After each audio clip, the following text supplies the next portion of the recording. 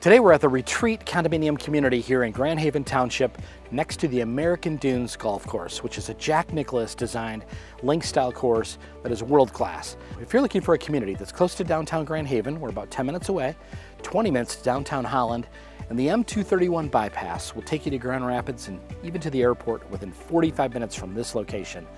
We're a few hundred yards away from Lake Michigan. You can feel that breeze coming off the lake. We've got beautiful landscaping in this entire community. We even have a pond with a couple fountains to enjoy. The condos are so nice because they're freestanding, single story with three stall garages, very feature enriched with uh, walkout lower levels. So this would be a great place to call home. And You don't have to worry about your lawn care. You can get out on that golf course and play a few extra rounds each summer.